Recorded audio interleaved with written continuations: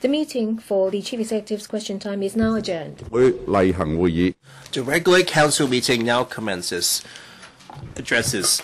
The Chief Secretary for Administration will address the Council on the Government Minute in response to the report of the Public Accounts Committee number 68A.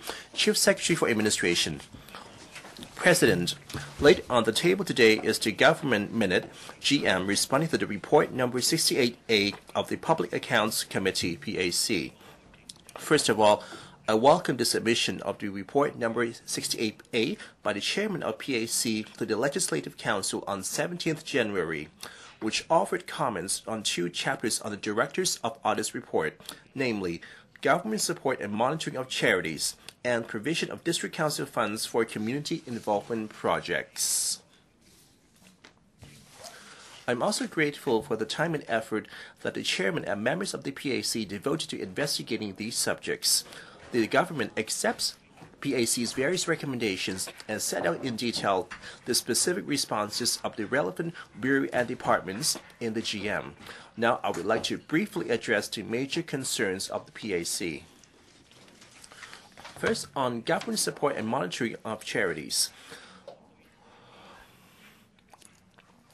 The Law Reform Commission, LRC, published its report on the regulation of charitable organizations and charitable fundraising activities, in which some of the recommendations had far reaching implications on the operation and development of charities in Hong Kong, and the issues involved were very complicated.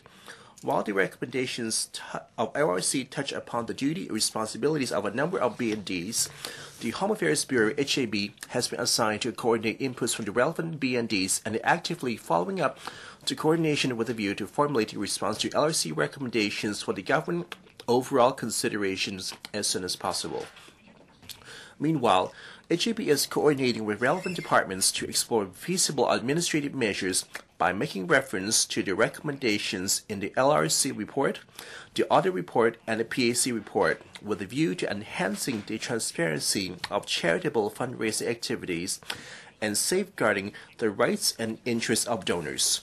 These measures include, among others, making public the relevant financial information of charitable fundraising activities granted with a license or a permit, enhancing the 1823 hotline and the charitable fundraising activities webpage on the GovHK portal, reviewing and enhancing the reference guide on best practice for charitable fundraising activities issued by the Social Welfare Department and stepping up promotion efforts and encouraging charities to follow such practices.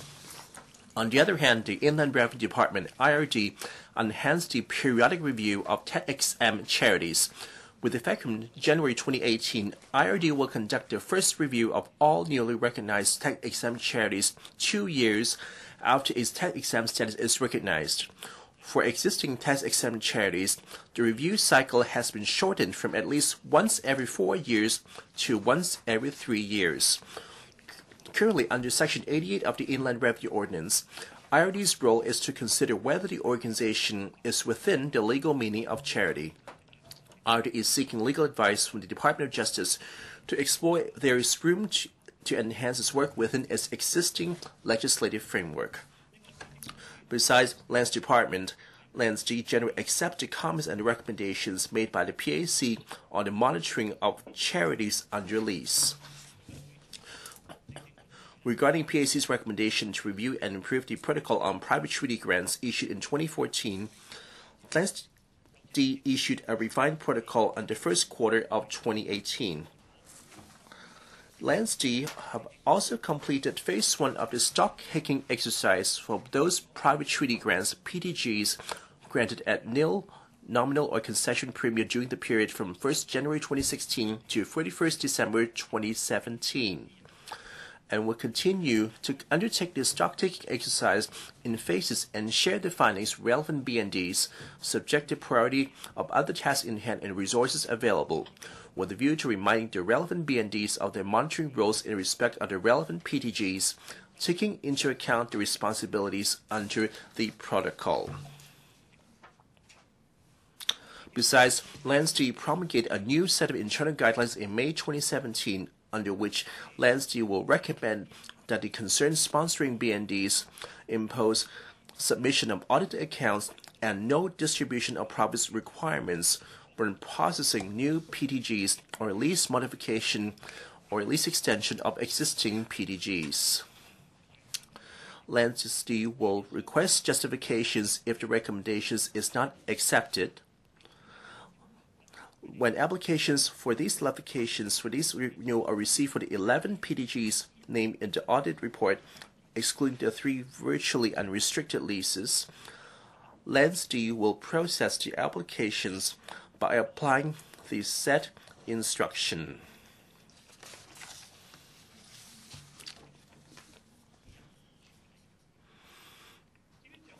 As to the PAC recommendation on the regulation of Chinese temples, HAB and the Chinese Temple Committee CTC have actively followed them up and taken measures to enhance transparency of the operation of its temples. In respect of the issue of renewing the expired delegation agreements of the two delegated temples, CTC re-entered into an agreement with one of the delegated organizations in December 2017. The CTC Secretariat also repeatedly met with the other delegated organization. The two parties are now finalizing details with a view to re-entering the agreement as soon as possible. And on the provision of District Council funds for community involvement projects, with regard to the provision of District Council Fund for Community Involvement Projects, Section 68 of the District Council Ordinance provided that a District Council DC may make standing orders for regulating its procedures and those of the committees. The Home Affairs Department's HAD has provided a model text of standing orders to 18 DCs for reference. Such arrangement has struck a balance between maintaining consistency in DC's making of standing orders while allowing flexibility to adopt procedures that can cater for the actual situation of district different districts. On the implementation of CI projects, HAD had completed a manual on the use of district council funds to provide further guidance to DCs. The HAD manual covers different areas such as the funding coverage, vetting criteria, payment arrangements, monitoring mechanism, etc.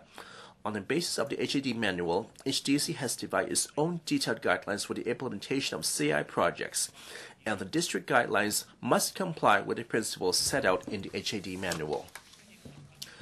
In response to the recommendations in the audit report, HAD has further enhanced the arrangements on the implementation of CI projects. For example, providing DCs with guidelines to facilitate the review of the list of designated non-government organizations, producing analysis of CI projects for DCs to facilitate the management of DC funds. Reminding DC secretaries that a proper evaluation system should be put in place to monitor the effectiveness of CI projects, and reminding DC secretariat that DC members, co-opt members, or district staff who do not have an interest in the organization or the project under evaluation should conduct visits or attend the activities on a random basis. Turning to declaration of interests, HAD has all along formulated provision on the avoidance of conflict interest under the model text of standing orders on the basis of the guidelines for a two-tier reporting system devised in collaboration with the Independent Commission Against Corruption ICAC. All DC members declared interest according to standing orders and the declarations have been uploaded to DC website for public viewing. The first tier declaration required DC members to report their personal interests within one month from the commencement of the term. The second tier declaration required that any DC member who has pecuniary or other interest to any uh, matter handled by the DC concerned or has links with a benefited party or a potential benefited party, including matters on tender, quotation of DC funds, must, as soon as practicable, after being aware of it, declare such to the DC concerned prior to the discussion of the relevant matter. In addition, the HAD manual provides further guidance on the second tier declaration, requiring that DC members shall make declarations on any conflict of interest, which may be actual, potential, or perceived.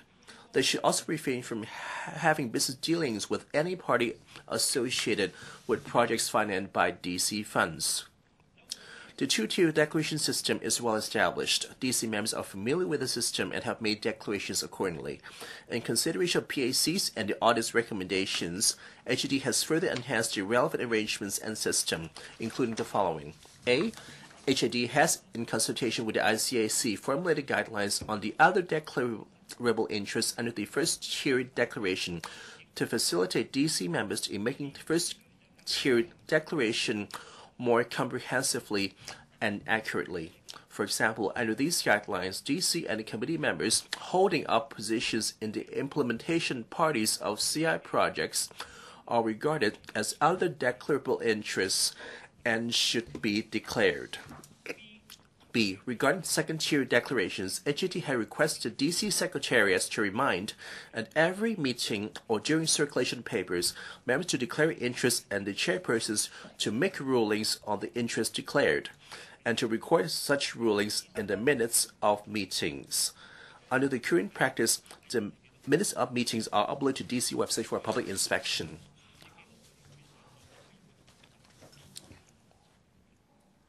C.